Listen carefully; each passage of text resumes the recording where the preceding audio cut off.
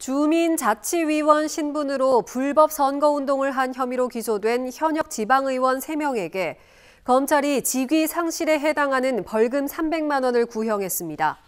검찰은 주민자치위원으로 선거운동을 해서는 안 되는 것을 교육을 받아 잘 알면서도 대통령 선거운동에 참여해 선거법을 위반했다며 이같이 구형했습니다.